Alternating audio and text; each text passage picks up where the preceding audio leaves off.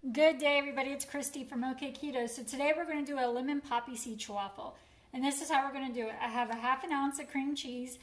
I usually melt mine in this little metal bowl. I stick it on top of my little dash waffle maker when I go ahead and preheat it. I stick it on there and just let it melt it for me so I can smooth it around pretty easily.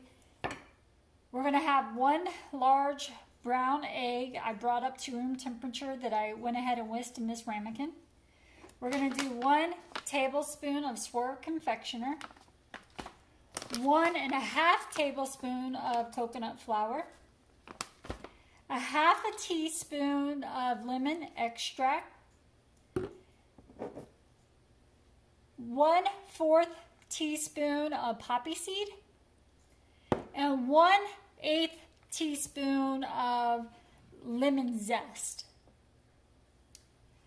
So what I do is I take my lemon extract, my half a teaspoon, five minutes before I start, and I drizzle it over top of my coconut flour. I let it absorb in there pretty good and dry up a little bit, and I just swirl it around so it really gets incorporated in there before I start. I use the flour or um, a powder like a cocoa powder or even coconut as a carrier for my extracts. It just works a lot better for me. If I put it directly into my egg mixture, it changes everything for me and I do not like it. So that's why I always try to use a carrier for my extracts. So let's get started. Again, my cream cheese that is melted and I'm gonna go ahead and put all my dry ingredients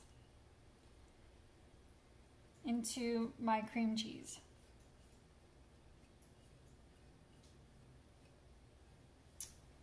And then I'm gonna Give this a good stir before I add my egg.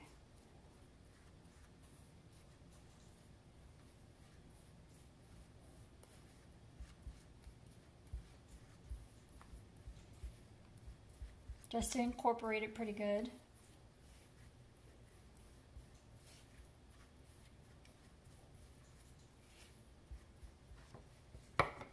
Now I'm going to go ahead and add my whisked egg to my bowl.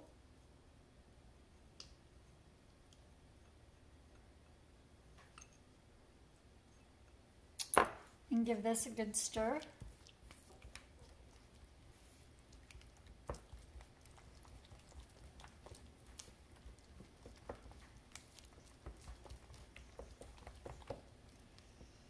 Really want to make sure everything gets incorporated in there pretty good.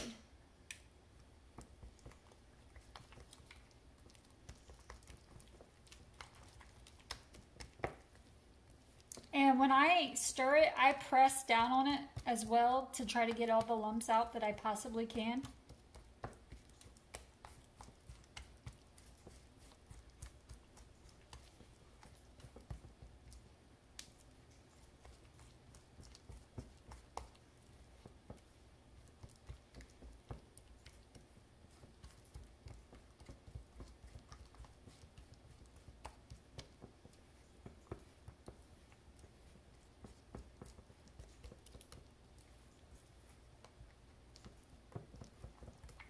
Okay, and this is what it looks like, like a muffin batter.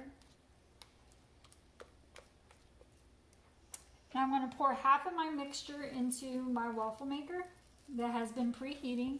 And I'm going to use my little spatula to uh, spread it around pretty good.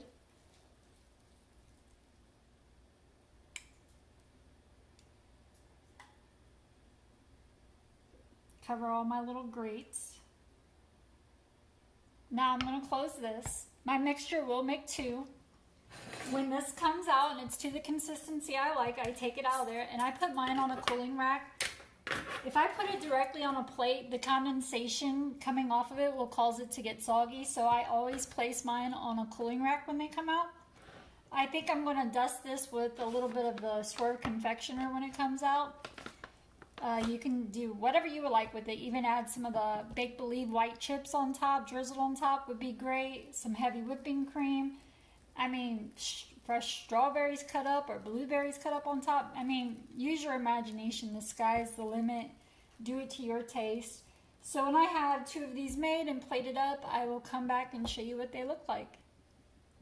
And here it is, plated up. I did go ahead and cut up two large strawberries and put on the plate. I dusted it with a little bit of the Swerve Confectioner and put a little tiny bit of lemon zest on top as well. I will add heavy whipping cream to the top of this, but I wanted you to see what it looked like without the heavy whipping cream. It tastes just like a blueberry poppy seed muffin to me. And we are going to enjoy this. This would be good with blueberries or, I mean, make it your own. I, am really thinking blueberries would be great with this, but I don't have any on hand, but I do have some strawberries. That's why I paired it with that. And like I said, I'm going to put some heavy whipping cream on top. Make it your own. I will see you next time. Thanks for watching. Again, guys, afterthought, but here's the inside. So many people like to see. Trying to get it to focus.